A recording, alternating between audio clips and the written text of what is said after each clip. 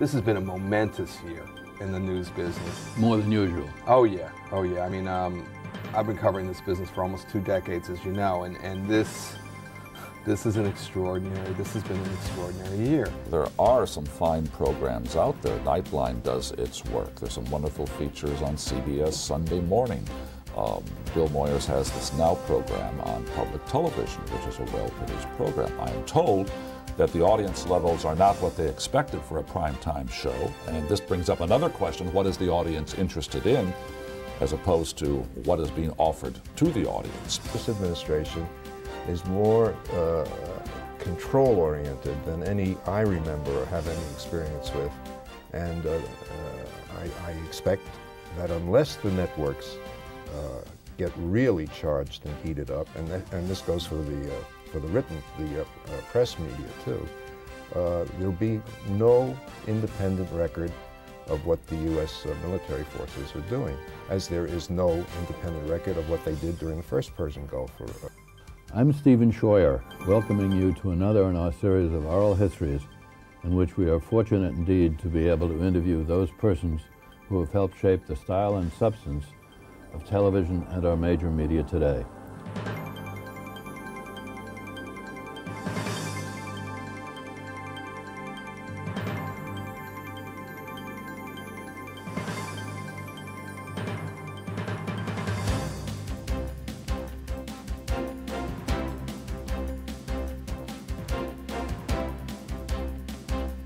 This is the year-end special of our series, Television in America, an autobiography. The year 2002 is almost over, but there have been enough dramatic and essential major issues which have taken place in the last 11 months. We are recording this today at the New York studios of CUNY TV on November 5th, 2002. With us are two broadcast journalists who brought luster, credibility, and accountability to network television news. Garrick Utley is a distinguished correspondent who's worn his trench coat with pride for NBC for over 30 years, reporting from high-stakes arenas in more than 70 countries. He served as NBC's chief European correspondent and chief foreign correspondent as an anchor on such programs as Meet the Press, and for three years he was ABC News' chief foreign correspondent before joining CNN as a contributor from that network's New York bureau.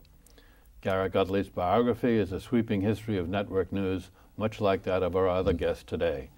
He is Sandy Socolow, who, following his INS career, the International News Service, reporting from the Asian Bureau, he served at CBS for 32 years, ultimately becoming the executive producer of the Evening News with Walter Cronkite.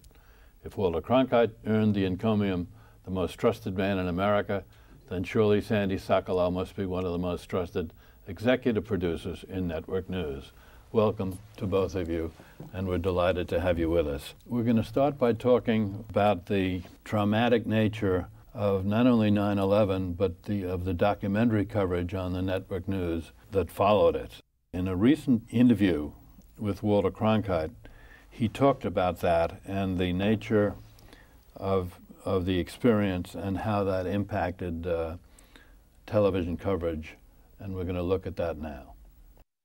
I wouldn't have thought that there was going to be a, a, a sea change in how we practice journalism until I read a couple of days ago that uh, the traditional networks uh, had agreed, uh, and indeed the cable net news networks, had agreed with a request by uh, the government that it not carry uh, uh, bin Laden's propaganda broadcasts in this country. Uh, I don't know who's being protected in that case, unless there's something we just haven't been told. Uh, otherwise, it's protecting the American people from the enemy's propaganda. It seems we should know as much as possible about the enemy's propaganda, what the rest of the world is hearing from bin Laden, uh, that we should not be shut off from this information. It seems important to me that we should have it. Garrick, what's your thought on, on this issue? Uh, I agree with what Walter is saying. There is no reason to um, censor or, or even self-censor in this case because of the request of the White House to the news organizations. Um, what is bin Laden going to say that's really going to change opinions here or harm anybody? I would point out one very interesting aspect of this. After the White House called on news TV news organizations to limit what is shown when a bin Laden statement comes out, or any statement from one of his uh, one of the members of his circle. There was that famous uh, hour or so video that came out where he was sitting drinking tea, talking to some of his associates, and in effect accepting responsibility or boasting of responsibility for the, excess of, the success of the September 11th attacks. Now, that video was not obtained through a news organization, it was obtained through intelligence and political channels, got to the White House. The White House released it, and when it released that tape, it recommended that the networks uh, and the cable channels show it in its entirety. So go figure. The fact is that one person's propaganda on one day is somebody else's propaganda on another day, and the sword cuts both ways.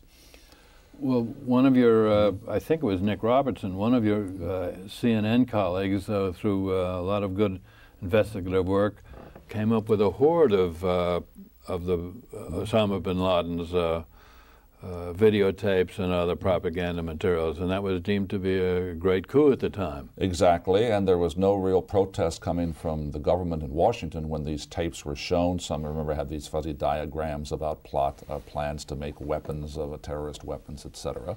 No, that was a great coup on his part. It had great resonance in this country, and I think the government in that case uh, looked at it and said, uh, by and large, that just shows what a a threat this guy is and his organization is, and this should be seen. So it's very hard to make the argument to have to call on news organizations to censor or limit what they're going to what they're going to broadcast. I think it really all has to be out there. We're sitting here in early November on election day, as a matter of fact, and none of us know uh, what will happen in the, in the, months ahead and whether or not there actually will be uh, an invasion of Iraq. But um, there's already been speculation about the changing nature of television journalism, journalism if, as, and when that happens, and that correspondents, if they're allowed in, will not have the, the same freedom that they had in the Vietnam War or even in the uh, attack uh, in Kuwait, pushing the Iraqis out of Kuwait. What's your hunch as to how that this, this uh, will unfurl? Well, I think there'll be there'll be no uh, unauthorized, uh, unofficial, uh, independent coverage. I mean, the Pentagon is just is, has as much as said so, and the whole history going back to the original Persian Gulf War shows that they want to control everything. No. No reporters, except a couple of, uh, of renegades who went out on their own, were allowed to go out with the combat troops uh, in action. I mean, they, uh, they, uh, if, if you wanted to go out to see somebody on the front lines, you were sent with an escort officer who stood there while you interviewed GIs or you interviewed officers in the unit. And although there was no formal censorship, in effect, this is what we had was, was sort of an informal censorship, and the and the restrictions on the breadth of the coverage were breathtaking. And this goes back to the Grenada invasion, to uh, the Panama incursion by the senior Mr. Bush, in which uh, the press was left out and, and, and, and physically excluded, in the case of Grenada, from any coverage. Uh, so I, and I think this, this, this, this administration is more uh, control oriented than any I remember or have any experience with. And uh, uh, I, I, expect that unless the networks uh, get really charged and heated up, and, th and this goes for the, for the written, the press media too, uh, there'll be no independent record of what the U.S. Uh, military forces are doing, as there is no independent record of what they did during the first Persian Gulf War. I think we should be um, we should be realistic in, in terms of an administration being control oriented. Every administration is control oriented. Lyndon Johnson well, would have liked to have control over the press and television in the Vietnam War. He couldn't. It was a different situation. I think one of the problems we face today as journalists is we compare everything to that first television war, which was Vietnam, which by through a, a variety of reasons allowed journalists to go anywhere, to be up with the troops. Uh, both it was uh, due to the nature of the war, due to the lack of censorship and the impossibility really of imposing censorship there. And that spoiled us. It was a wonderful opportunity for journalists. It was very important for the nation and the whole process in terms of how the public got its, um, its pictures, literally the pictures of the war. It came to its own conclusions as to whether, whether it was a war worth uh, waging. This is Dan Phuc Outpost, just five miles from the Cambodian border. It's a new post, built especially for a new and growing problem in South Vietnam, the infiltration of Viet Cong guerrillas from Cambodia. But suddenly, the shells start landing next to the post. Everyone scrambles for cover. Those caught in the open lie low and hope. This is what happens when the fighting in Vietnam spills over into Cambodia. A war that is fought right up to the border does not stop at the border.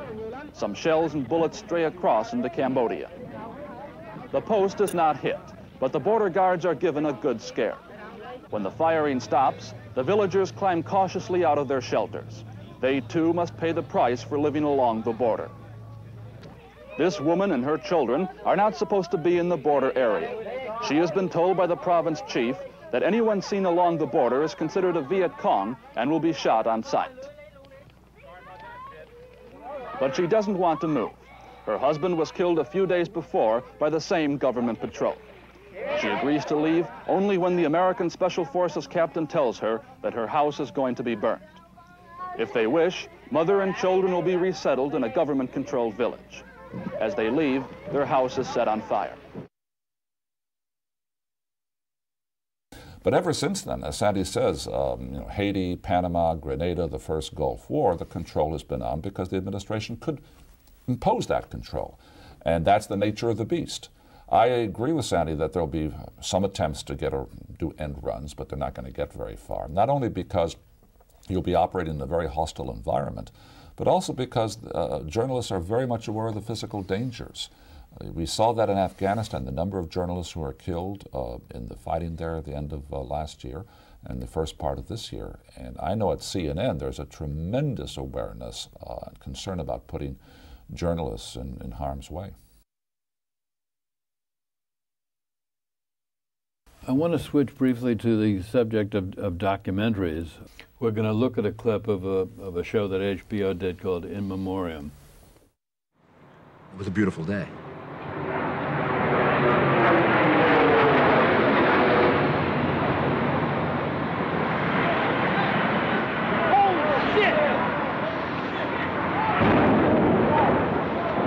We have something that has happened here at the World Trade Center. We noticed flame and an awful lot of smoke from one of the towers of the World Trade Center. My heavens, this is...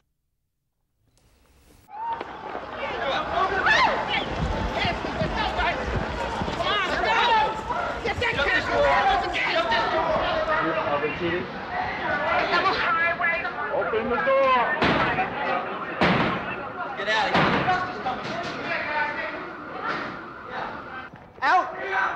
Everybody else, go! The executive producer of HBO's In Memoriam program uh, was Sheila Nevins, and we recently asked her uh, about the film and how she tried to strike a balance between uh, the truth that the filmmakers might have been after and offending viewers in this very difficult situation. And here's what she had to say about that issue. Were you able to accomplish what, what you and your colleagues set out on that very delicate theme uh, of making it impactful but not uh, overwhelming for the viewers at the time? I don't. I, you'd have to ask the viewers. I think that that was certainly a team effort. It was really a team. I shouldn't say effort because it was a gift to be able to make that film. Um, and that was a film that we at HBO as a team made. I mean, we sat there kind of helplessly looking out the window and looking at this cloud of smoke. And we went as a team to give blood to a, a, local hospital, and they didn't need our blood. And we realized that all these people were probably going to be dead. And for for days, we just stared, watching immediate news cover in memoriam, and didn't really know how to respond. And um, I think we kind of figured it out from the inside out that we had to do something, even though we were we're not people who could respond instantly. We didn't have a news department. That we would make this film in house. That we would work with the mayor at the time, and that we would try to make a historical account of the day from early morning to the end. And I think we accomplished an archival, historical, accurate film. Um, and because we used the work of about 118 filmmakers, I think we really were able to capture the new technology and the immediacy with which a democracy can respond to a political event. Um, and that, that made me very proud. but it was, um, you know, it's just a film that took our hearts and souls. Um, I wonder what you think of the generally of the of the of the documentary television well, documentary scene as we close out 2002. There are some fine programs out there. Nightline does its work. There's some wonderful features on CBS Sunday morning. Um, Bill Moyers has this Now program on public television, which is a well-produced program. I am told that the audience levels are not what they expected for a primetime show, and this brings up another question, what is the audience interested in? as opposed to what is being offered to the audience. That doesn't mean that you do quality work it's necessarily going to bring in viewers. At least the effort is being made, and that's, that is very important. I think, on the whole, that if you go around the dial and, and all the confusion and complexity of the 60, 80, 100 channels or more we have or will have shortly, the information that is available is astoundingly, certainly astoundingly more than it was back in the days of two or two and a half networks, and oh, eventually yes. three. If you throw in the public television channels, the C-SPAN channels, access to BBC News now. Uh, this uh, there's there's a variety of material out there. We've got to uh, one of the challenges we all face in this industry in, any industry in life is comparing today to a certain yardstick of a certain number of years ago and measuring it against that, and that may no longer be the yardstick, and in fact is no longer the yardstick. And I think in the end, the responsibility has shifted from those who produce television news, and the responsibility is still there journalistically and as broadcasters, but more and more it's being imposed on the viewer who has to become his or her own editor to find this material, select and if there are too many, during, as a, during the sniper story, for example, there are too many uh, sort of self-appointed specialists pontificating, and you think it's, um, it doesn't hold much uh, weight, well then you should just turn somewhere else. Turn to C-SPAN or turn it off.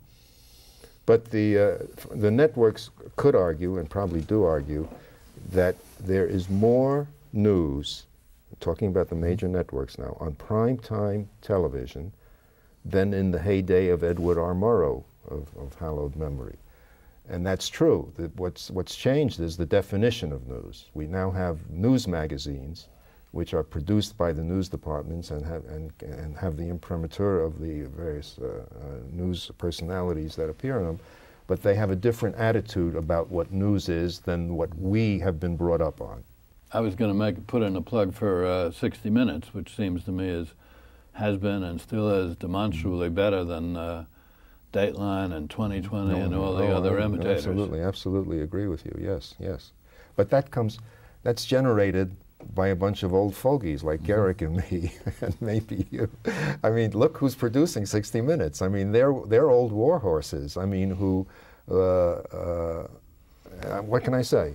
I mean, they, they come from a different culture. They were brought up in a different atmosphere, and they're following uh, what they think uh, is, is good and healthy for everybody.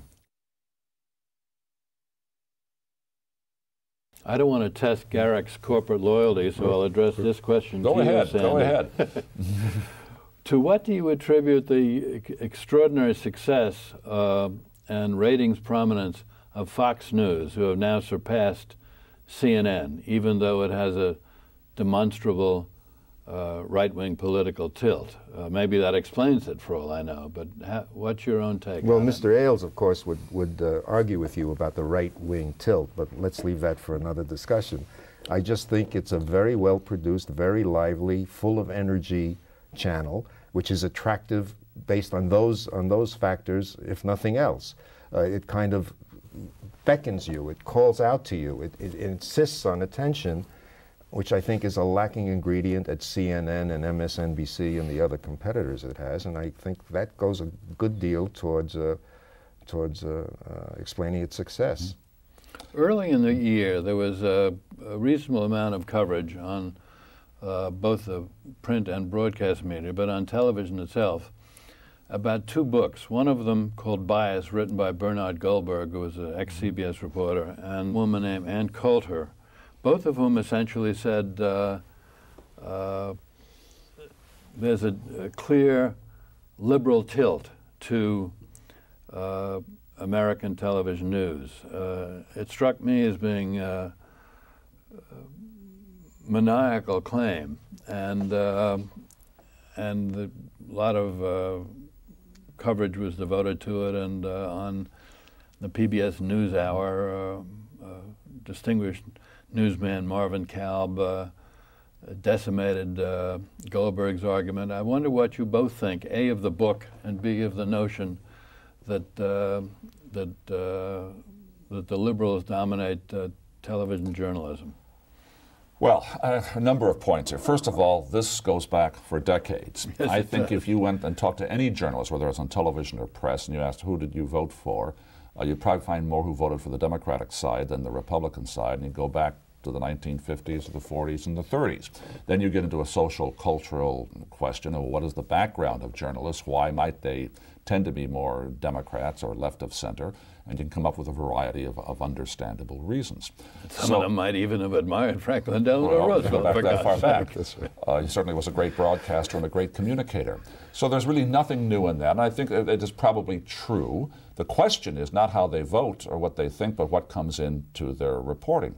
I don't think it was slanted so much in terms of um, political slanting. I think there is an argument to be made in something called story selection setting the agenda. What stories do you choose to run on a newscast? What's the lead story? What stories do you headline on the front page of your morning newspaper? That's um, as much subjective as an objective decision making process that is going on there. Uh, so, that I think has always been there and perhaps to a certain extent is, is still there. There's a second factor to this, though. That is seen in, in channels such as the Fox channel and books you mentioned, which are being written. The success of the Fox channel has been to focus on that rather narrow, uh, not small, but still very narrowly focused group of people who are definitely right of center who want a voice. And to constantly deliver that voice, whether it's talk radio programs or on the Fox News channel, you have to stay, as they say, stay, as they say, on message.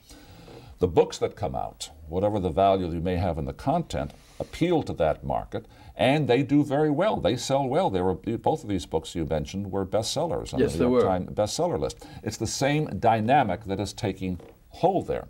So, quite aside from the editorial points they may be making, there is a certain commercial or marketplace dynamic reinforcing cycle and circle that is at work here. If you believe what is in the book, if you accept that, and Bill O'Reilly's books, and now Sean Hannity has a book out, there's a straight form. All of these books consistently sell in the same way, and bravo for them for turning it out because they know they're speaking to their particular market. That market or that audience is an important one. I would correct you or just follow up with a footnote on an earlier point you made uh, about the uh, Fox News audience ratings being larger than the CNN, uh, which is partially true and partially false. Uh, the shorthand we use, and we journalists use shorthand all the time, is that the Fox ratings on the whole are larger than CNN's. That is true, the Nielsen ratings, when you look at a particular moment. If you go and look at the ratings and find out or ask which channel has more viewers in the course of a day, CNN far exceeds the Fox audience. That is, the CNN audience is far more people or viewers tuning in for a f- several times a day, as opposed to the Fox audience, which is very loyal, the same audience all the time, which is why, on a commercial side, CNN does better in the advertising because they're reaching more viewers. Your point is well made, and I stand corrected. I, I want, again, I want to build on what Garrick said. The uh, notion of an institutional liberal bias in the major media is nonsense, and my token of uh, supporting evidence is uh, the press coverage of Bill Clinton, and I'm not talking about the Lewinsky matter, uh, but just the about Mr. Clinton, ex-President Clinton, grew to hate the press. He's, I, I suspect he still does for what he considered the biased, on the other side of the fence, coverage of his of his administration and his policies. And uh, if there's any institutional liberal bias, it certainly did not appear to him in any way, shape, or form. If I gave each of you a magic wand and uh, with uh, unlimited Harry Potter qualities, and you could uh, change American television in a way that you saw fit to improve it, what would you do? I, I think I'd try for a prime time uh, news broadcast that combined the best of, uh, of, of 60 Minutes and current news coverage, all in one package running from 10 to 11, five nights a week. And I think with the right uh, personalities, and you can't get away from the celebrity quotient in the business today, uh, it, it could it could hold its own in the current reduced audiences of the commercial networks, but uh, enough so it would be a success, I think, and make people uh, notice. I would be tempted to uh, wave a magic wand and remove um, 98 of the 100 channels on the air and go back to the old days of CBS and NBC when we had this wonderful thing called an oligopoly. Being and before realist, that, a duopoly. A duopoly, being that and, and, and, and a, um, a citizen of this republic where you believe in free speech and discourse. Um, not even going to attempt to wave a magic wand. I think the, th the technology, the audience reaction is proceeding so rapidly right now that even where we are today, if we're back here in two years, it'll change remarkably. Uh, all the talk about broadband, it will come one day. The more, the greater fragmentation of the information out there, the sources, it's going to happen. On the whole, I welcome it. It's difficult. It's tough for anybody to adjust. But I think the audience is, in many ways, if is perhaps better informed and certainly has the opportunity to be better informed from all the media, from online to television to radio to print, that's there today, that, um, hey, that was then and this is now. And stay tuned for what tomorrow brings. We can't stay tuned indefinitely. Thank you both. This has been fascinating, and I'm very grateful for your time. Garrick Utley and Sandy Socolow. Thank you for inviting me.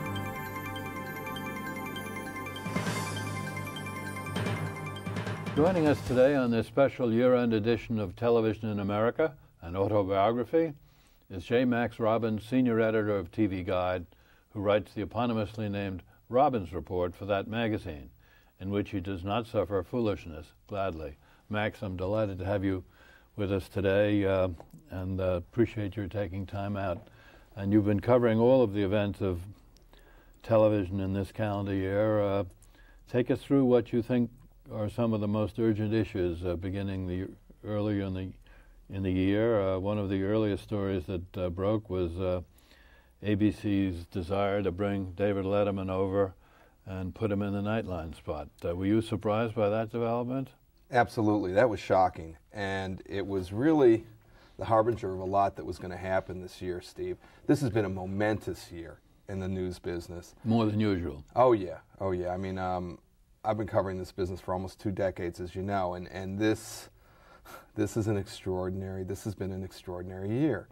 Um, what ABC's desire to, to, to bring David Letterman over and, and push Koppel's Nightline, the most prestigious, really, reg- daily news show on television, off the air, signaled the fact that the Walt Disney Corporation really did not care about news.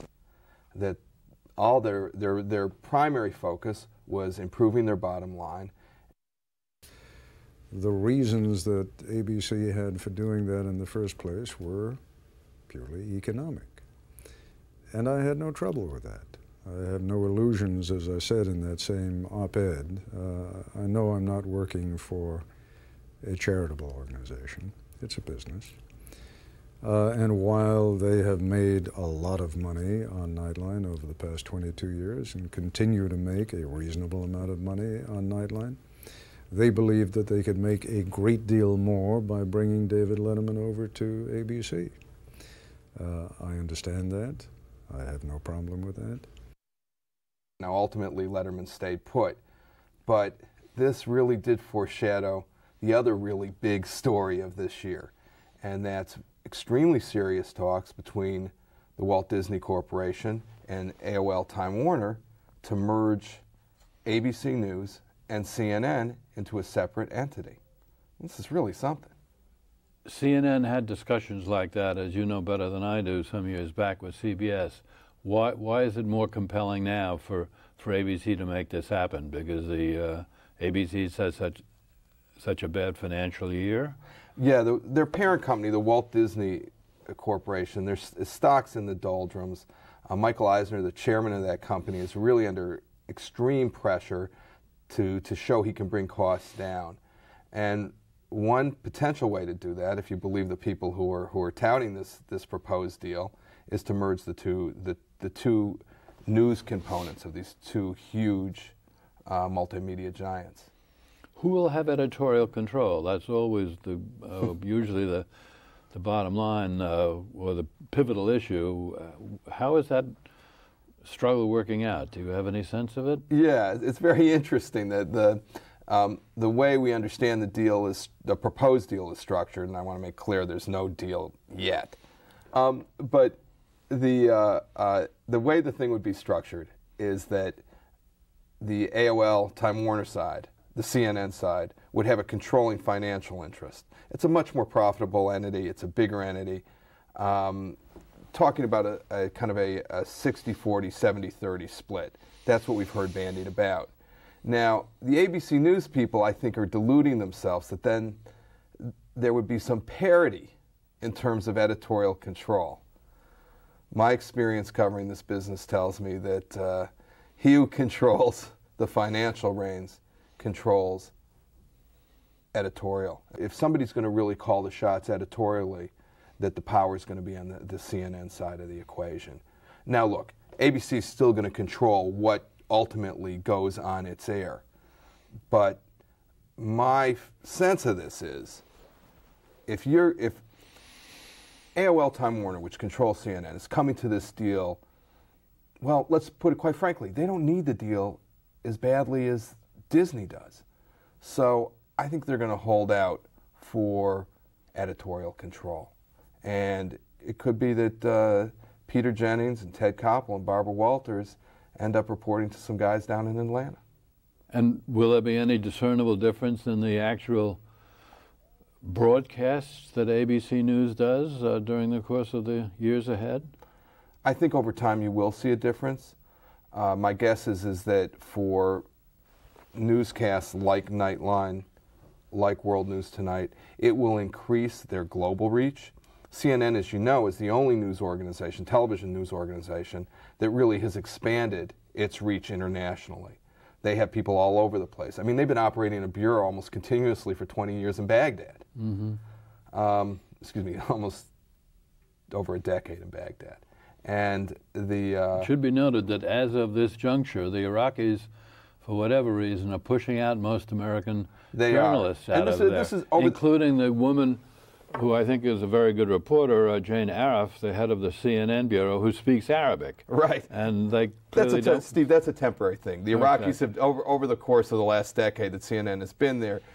Periodically, they get angry about something they've reported. They toss them out. They usually come back pretty soon. Um, that being said, I think you'll see that. However, you over time you may see a program like Nightline going away. You might see World News go away, and and that showing up on CNN's air. Um, Go away in what sense? The network evening news of ABC would literally disappear? It may. That's that, certainly the potential for that happening is there. If it ceases to be a profit center, it goes away. These are really bottom line times more than ever. And if news can't be a profit center, it, it, it loses a lot of its value to a network. One of the other major developments has been the uh, ratings triumphs of Fox News, even over CNN. Uh, talk about that for a minute. This is truly amazing and one of the amazing stories of the last year. Now, it's been building for a while. But CNN was this incredible brand, still is a, a really strong brand in the news business. They invented the 24 hour news business. Then, out of nowhere, comes Fox News. I mean, what, five, six years in existence? And now they are the dominant news network. It's an incredible marketing feat and really shows, well, tells a lot about the cable audience and how you can take, excuse me, a, a, a format that's basically talk radio and transform it to television. Now, CNN still will dominate when there's a huge news day. Um, but Fox News, if you look at it starting last January, and I'm sure here we are in November, but through the end of this year, will be the top rated news network. And on a typical day, not a hot day, why do more people turn into uh, Fox than into CNN? I think that, that Fox has been able to develop a number of personalities. It's very personality driven, um, it's very opinionated. tends to skew right, even though they say they're about fair and balanced. But they, um, but they have a really pronounced, pronounced. Um, well, it's well produced too. I mean, you can't. Uh-huh. It's not just about politics. It's very lively. They provide a lot of lively talk, um, and they've developed these these very uh, dynamic personalities. The Like Bill O'Reilly, for example. notable. I mean, O'Reilly, in terms of cable news, is a superstar. This guy is is is bringing in upwards of two million viewers every night, and in terms of cable news, that's huge. That's a huge audience, and he really gives them an incre- gives Fox an incredible promotional platform for the whole network. They've got some other people too, like Neil Cavuto, who does their business, who's terrific. Um, that really, it's made it's made the network a, a dynamic force, and has changed the whole landscape of cable news.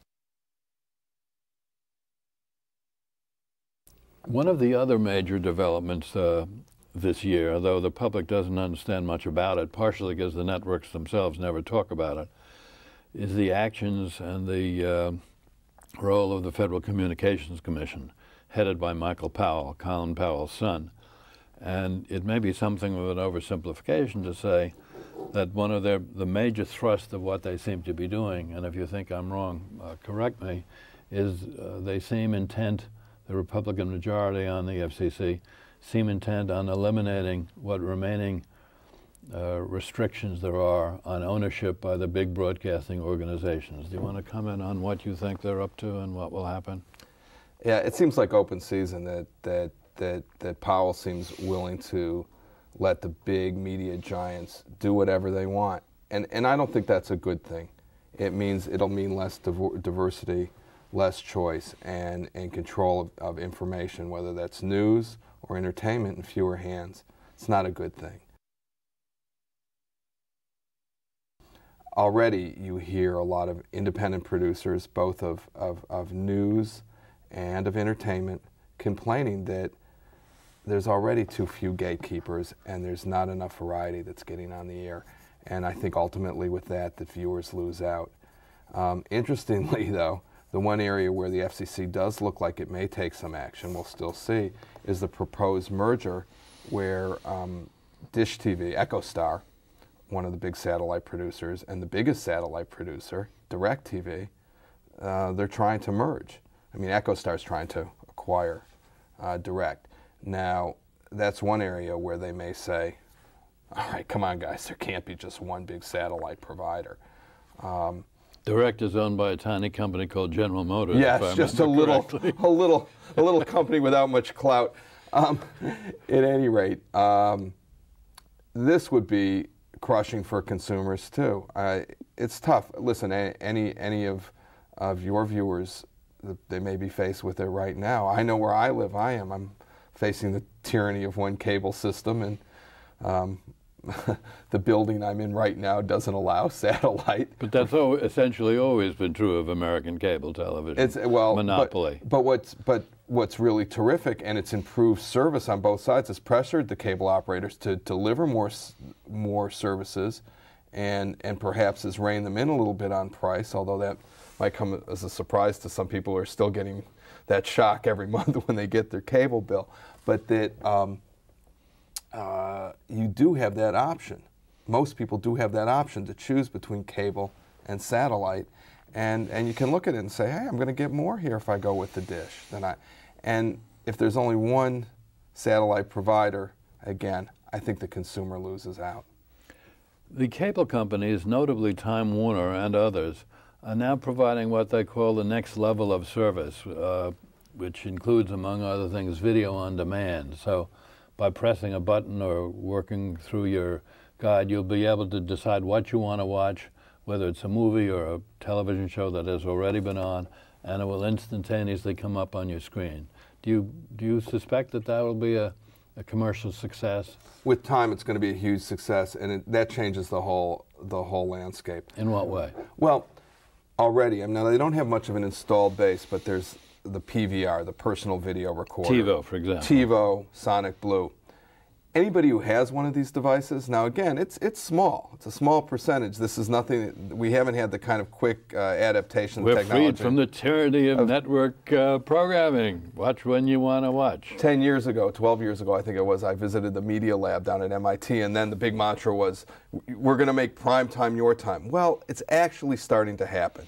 It's slower than maybe some of us thought but it's happening. And and if it's all put in one box in your cable box, and it's just a couple extra bucks a month, and whatever the show is, if you're a you're a fan of Friends or you're a fan of Nightline, and you can push a button, and it it's that easy. You're what they call on TiVo your season pass. You have it, and you can watch it whenever you want to watch it. It's a great service. Anybody I've ever talked to who has TiVo or any other of the, the PVR services, they love it and they would they become. But why then wouldn't most uh, the uh, people who are making a decision between uh, the, a sophisticated cable service like Time Warner and, uh, and others, or this, the satellites, why wouldn't they gravitate towards the cable? Because uh, they don't offer these uh, options. Well, satellite is trying to integrate it. They will. Some there's already I think some some beta test sites where they're doing it.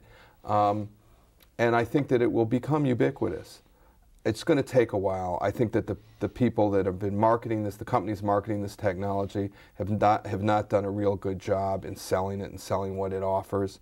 Um, but again, it's in it, in it, and I'll tell you, it's, it's, it's scaring the heck out of Madison Avenue and mass marketers because especially where you've got that quick button to fast forward through commercials. Just try to keep track then of who who's watching your commercials under these circumstances. Bingo, bingo, and it makes it tough to reach a mass audience. And and ultimately, now I'm not telling you, Steven, this is going to happen overnight, but um, maybe five years from now, if you're kind enough to invite me back and we're having this conversation, a lot of what is now free TV is going to be pay TV, if you will, and that for this convenience of watching television when we want to watch it uh, will pay a little bit of a premium, and your cable bill or your satellite bill will look a lot more like uh, your phone bill. We're talking to Max Robins. I'm very grateful for your coming by, Max. Thank you very much. Thank indeed. you, Steven. Appreciate it.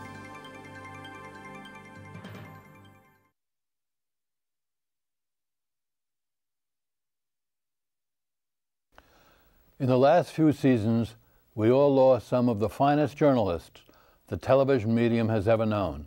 Each was a person of courage, unafraid to take on the Senator McCarthy's or network management who thought the ostrich, not the eagle, was our national bird. Robert Trout, John Sharnik, Don Dixon, Howard K. Smith. How does your career at ABC end? I, re I resigned when he was there. I was 65. I don't think I had any, any prospect of doing anything better. And I was rather tired of television. It's really a, a, a rat race. It really is. Uh, you may know, but I certainly know that it was hard. Ups and downs. You can become famous and be thrown out all in 13 weeks. It's just a, it's a great strain. Ted Koppel says it's too bad you can't take the good moments and keep them in a bottle and use it then later on. Uh, you can't, and it's, it's too much of a strain. I'm glad to be shed of it. I had a backache. With, I went to see doctors for much of my life and couldn't cure it. When I left uh, television, suddenly I realized I didn't have a backache anymore. And I haven't had one since and Robert Shad Northshield, who founded CBS News' Sunday Morning and created its closing nature segment and the poetry of contemplation.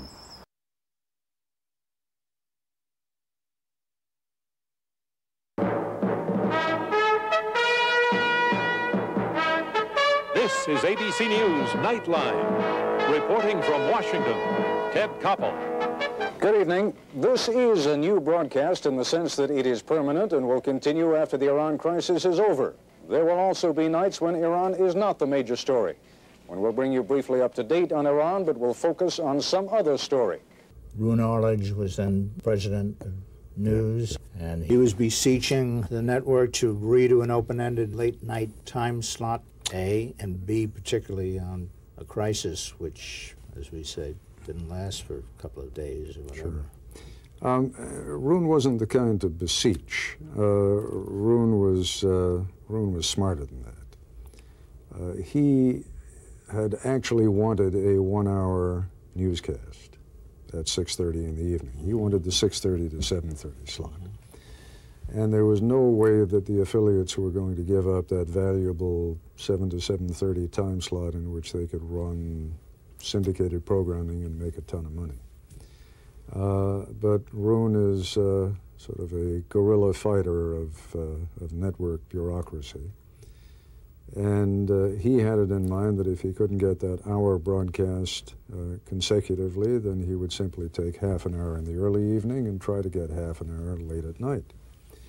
And for some months already, he had been uh, setting us up in the, in the news division that whenever there was a major event that happened, he would seize that half hour at 11.30 at night and do a, a special. I remember we did a special when Elvis Presley died. We did a couple of specials when the Pope came to visit. Uh, there were any number of other stories, but what he was really looking for was a story with legs, a story that would last. And so I believe it was, as you correctly say, the hostages were taken on November 4th. I think it was probably about November 8th when Roone said, we're going to do a, uh, a, late night special on this. And we did a late night special on the 8th and the 9th and the 10th and the 11th and the 12th and the 15th and the 20th and the 25th.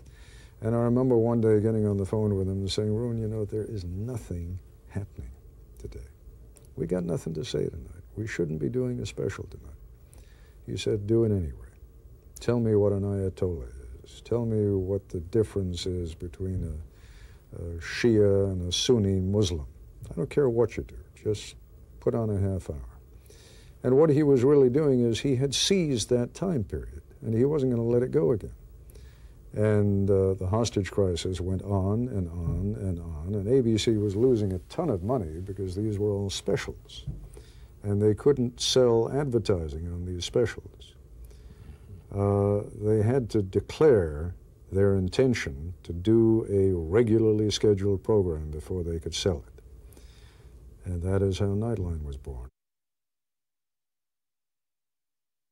They all would have subscribed to the activist mandate always ask questions, and always demand the truth. The consequences of not doing so were made powerfully clear by Edward R. Murrow, who ended his March 9, 1954 broadcast on Senator Joseph McCarthy this way. This is no time for men who oppose Senator McCarthy's methods to keep silent, or for those who approve. We can deny our heritage and our history, but we cannot escape responsibility for the result. There is no way for a citizen of a republic to abdicate his responsibilities. As a nation, we have come into our full inheritance at a tender age. We proclaim ourselves, as indeed we are, the defenders of freedom wherever it continues to exist in the world. But we cannot defend freedom abroad by deserting it at home. The actions of the junior senator from Wisconsin have caused alarm and dismay amongst our allies abroad and given considerable comfort to our enemies. And whose fault is that? Not really his. He didn't create this situation of fear. He merely exploited it, and rather successfully.